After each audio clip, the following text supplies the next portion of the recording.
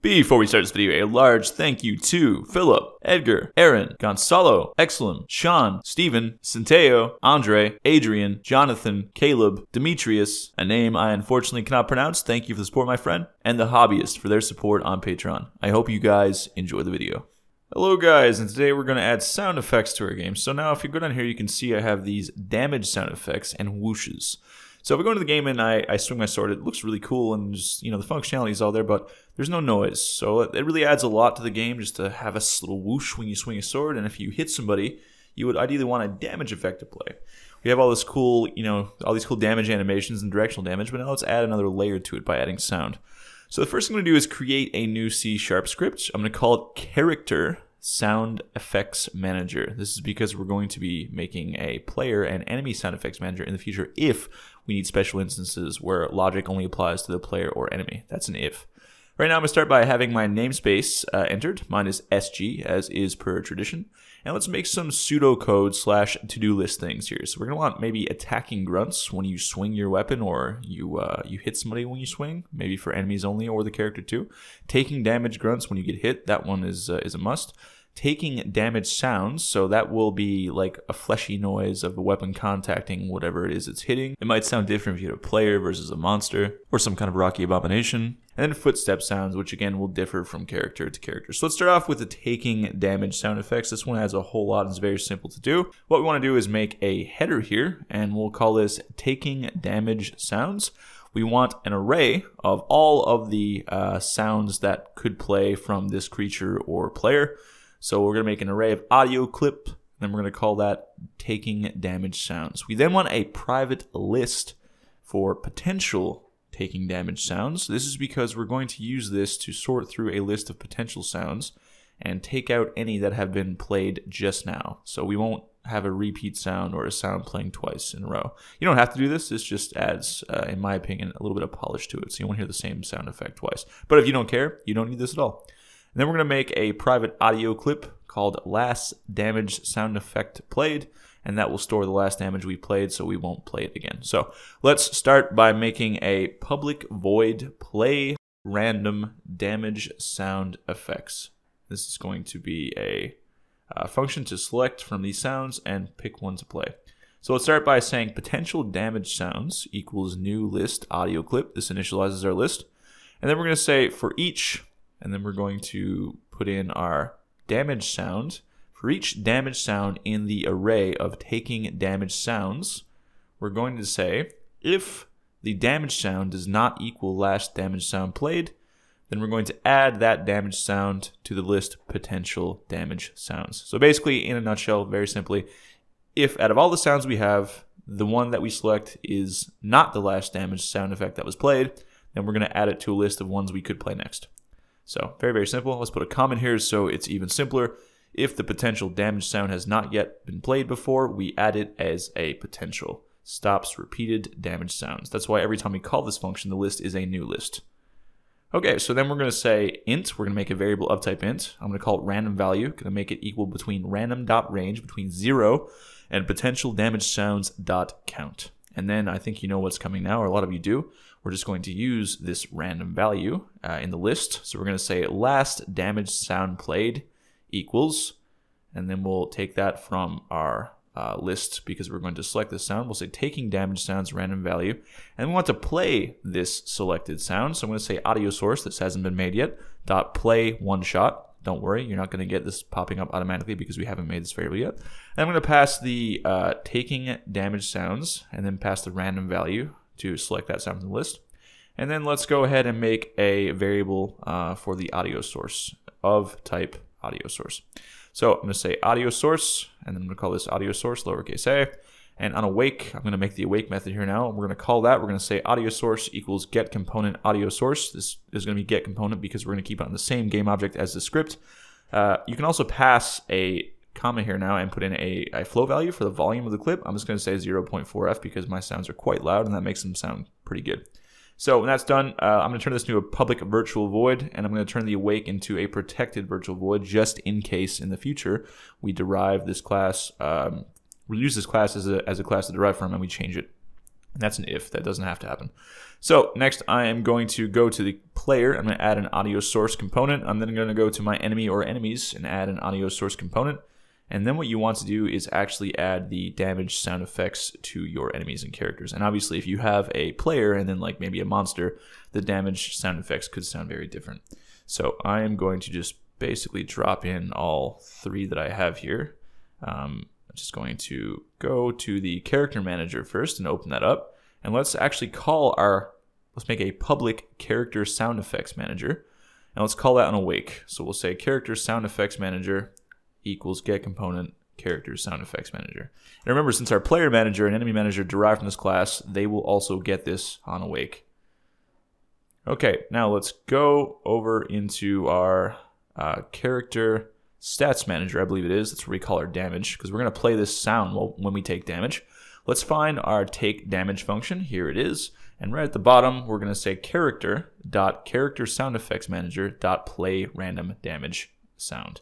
So as long as you're still using the base take damage on your player and enemy stats manager, uh, you will have the sound effect play. If not, you'll have to go enter that manually on both of those classes. But I am having the base uh, in both functions, so I don't need to do that. Now, I'm going to now drop in my take damage sounds. So Basically, this is going to call the function we just created every time the take damage function is called. And as you know, that happens whenever our player or enemy is taking damage from a weapon or an event or some kind of thing that's happening in the scene.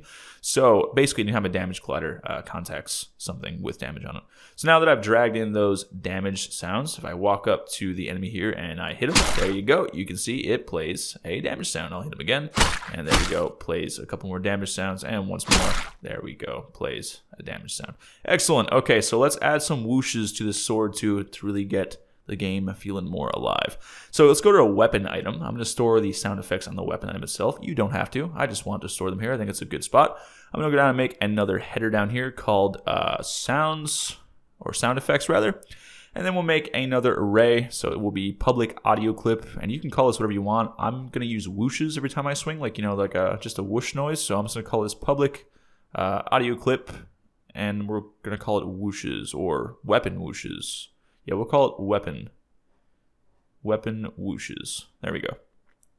All right, so we go back over to the character sound effect manager now, and it's very similar to playing the uh, damage sound effect, except we have to check for some extra info. We got to know if we're using our left hand or our right hand when we're actually going to play a, a weapon sound effect, because we want to play the right weapon sound effect for the, the right weapon that's being used. So Let's start by making a public virtual void, just in case you want to override it in the future, if you change it on the uh, classes driving from this. And let's go up here and make a header for weapon whooshes, because we're still going to need to make a private list and a private audio clip, the same as the taking damage sounds, if you don't want the same sound to play twice in a row.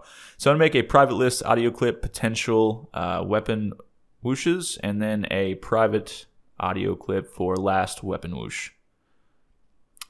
You can call that last weapon whoosh play too if you want. And then down here on the play random weapon whoosh, I'm going to say potential weapon whooshes equals new list. So every time we call this function, we're initializing a list as a new list.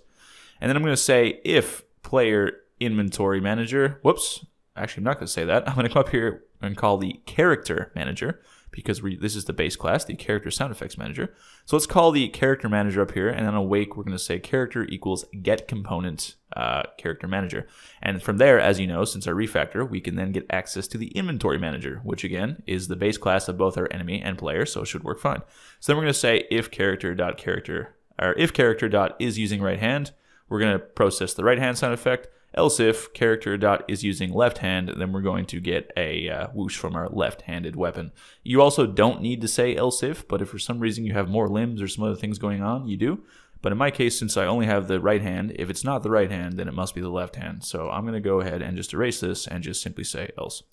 So under the if character is using right hand, the logic will be the same for both hands, but we'll have to switch right to left. That's it. We're going to start with a for each loop, and we're going to say for each, uh, I'll just call this whoosh sound in the collection, which would be our character dot character inventory manager dot right weapon dot weapon whooshes. Now make sure if you don't have weapon whooshes on all of your weapons, check for a null here, otherwise you'll get an error. But in my project, you should always have sound effects on your weapons. So we're going to say if whoosh sound does not equal last weapon whoosh, then what we're going to do is add it to a list of potential weapon whooshes dot add, and there we go. And then we do the same thing as before. We actually check for a random value between the total count, so I can paste this right here. And then what we want to do is basically just assign the last weapon whoosh played is equal to the uh, the weapon that we selected or the sound effect that we selected, and then we play that sound effect that we have selected. So audio source dot play one shot, and then just play the sound effect that we have selected. Okay, so we can actually just uh, copy again all of this Whoops, I have to paste that there. Otherwise, it'll play the damage sound effect. We don't want that. So we can copy all of this for the right hand and paste it down here for the left hand. There's three places where we call the right weapon on this. So just replace the word right with left and you're good to go. And you want to copy everything inside this if check for the right hand. So now you can highlight the right weapon here and it will show you there's three places in total in this part of the function where we call it. So let's just replace all three with the left and we are good to go. Okay, so now if I save this, there's two ways that I would do this if I were you, so I'll show you both. Um, if you have the patience, setting up animation events is probably the best. So what you want to do is go and pick the animation you want. I'm just going to pick a random one, and then you find the point that you want the sound to play.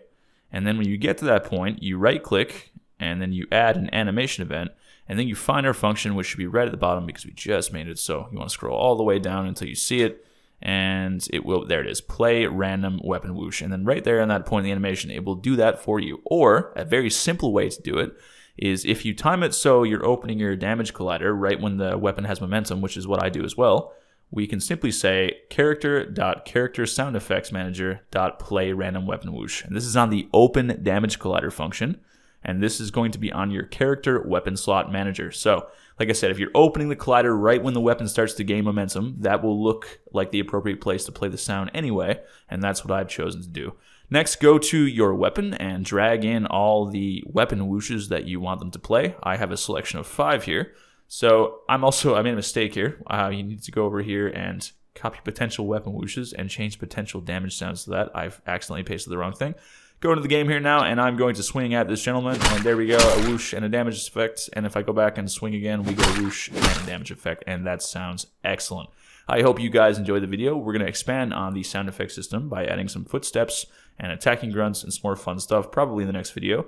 We're going to start doing a few more of the cool polish elements now. And I'm also going to cover ladders very soon because that was a request from a gentleman in the Discord. So if you guys made it this far, please don't forget to drop a like and leave a comment. It does genuinely help out the series a whole, whole lot. And I want to say a large thank you to my patrons. I sincerely appreciate you guys so much. It's because of you I get to keep making the series. So I will see you all in the next one.